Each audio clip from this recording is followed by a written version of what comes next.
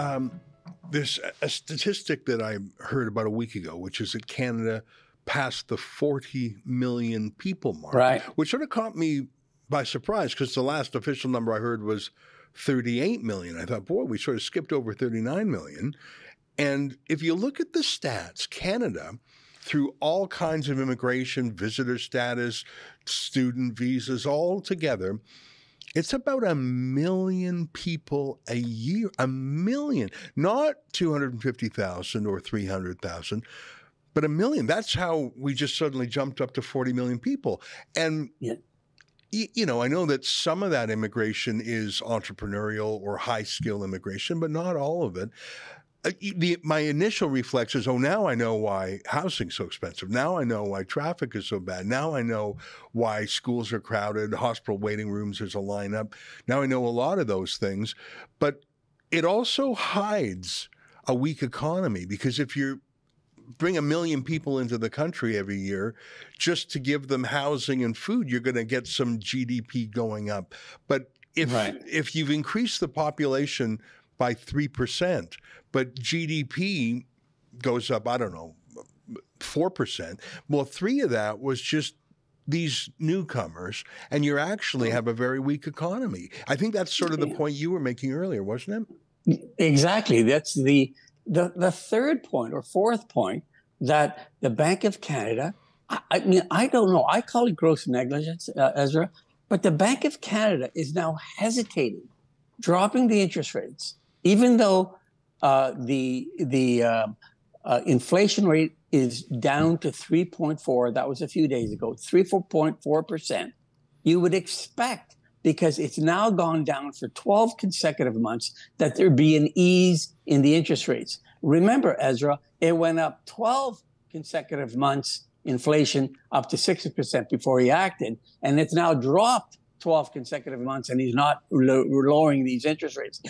The answer, if you if you just listen to the fake news media and the Bank of Canada, they're saying, well, we have a strong economy and we got to temper it down. Ezra, the strong economy that they're now saying is 3% GDP. And as you stated, just the number of people coming into Canada is about 3% growth. If we did not have any immigration or any new people coming into Canada, our economy is dead flat. We're in a recession. It's in trouble. Hmm. And when it's in trouble, you reduce interest rates. So he doesn't even, the Bank of Canada doesn't even net out the extraordinary. There is no country in the world that's adding more people. I had a debate with an American friend and he did he said well yeah you're adding 1 million we're adding 3 i said we're one tenth the yeah. size yeah i mean they don't get it america thinks it's under siege by open borders and immigration we, we, we have three times what america brings in 10 times what my old country italy is bringing in probably 15 times more than germany there's no country in the world that's admitting more people, which is fine. I mean, if that's the direction that Canada wants to go. But at least the Bank of Canada has to take that factor into account and say, look, real growth in Canada, if you net out the new people, is not 3%. Our economy is stagnant. We need to get interest rates down, not up. You know, you said if that's the direction you want to go as a country, I don't think we've ever had a debate on immigration, at least not in the last decade. Um, I think of past conservative leaders, Andrew Scheer, Erin O'Toole, terrified to even talk about it. Basically, whatever number Justin Trudeau said, they said, "Yeah, we agree." He could Trudeau, whatever he would say, literally any number. Both Andrew Scheer, Erin O'Toole, and I think Pierre Poilievre just say, "Yeah, whatever he said." They're too afraid to be seen as racist or whatever they would be called for wanting a manageable number of immigration that could be absorbed into the economy and the community. And the number is so astonishingly large a million people a year in a country of just 40 million people.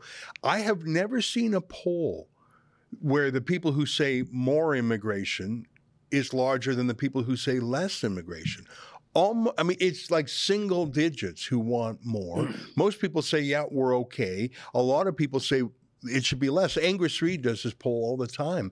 I just don't think we have a national debate on immigration because everyone's terrified of being canceled, Manny. Well, that's true, but we don't even have an anal- analyzation of the type of immigration. And let me explain it to you. When I immigrated to Canada, uh, five strapping boys uh, came with mom and dad, and we all added to the workforce. And not only that, but we created tons of jobs. That's the type of immigrant that, that, that came to Canada when we came to Canada.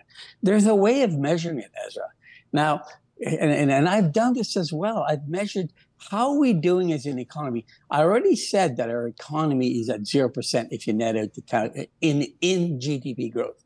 But in employment, there's, I do not look at the, at the uh, unemployment rate. That's a terrible number. It gives you no information. I look at the um, uh, labor participation rate. Right, and people right. can Google what that is. Now, Ezra, I'm gonna, I've done the math and I've actually posted it. But here's what the labor participation rate is. It's very simple. It is how many working, possible working people are there in your country and how many of those are working. And you express it as a percentage. Okay.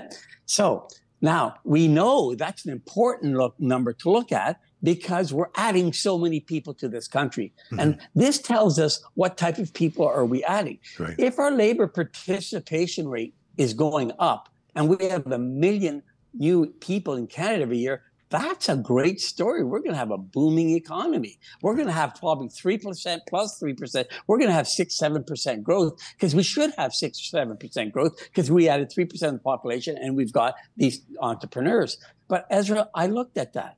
Back before in 2014, Mhm. the labor participation rate was about 67%. It's now 65.5, 1.5% less.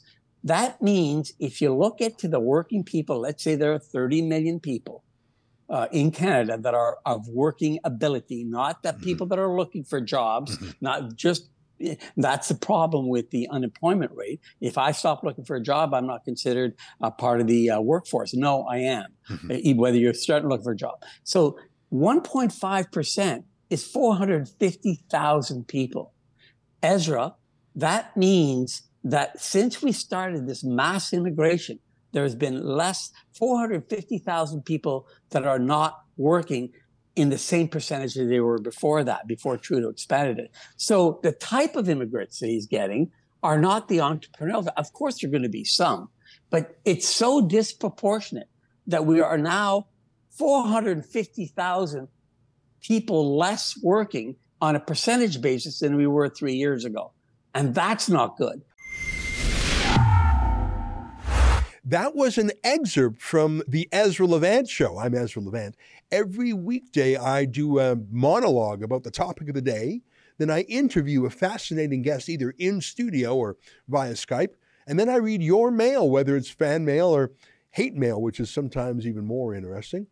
This is on our premium service, though, called Rebel News Plus. Go to rebelnewsplus.com. It's eight bucks a month or less if you buy a whole year in advance. You get my show every weeknight, plus Sheila Gunn Reid's show every week. It's called The Gunn Show. It's pretty amazing. You know, we rely on you because we do not take a dime from the government. In Canada, that makes us almost unique. So please help us out and help yourself to some great journalism at rebelnewsplus.com.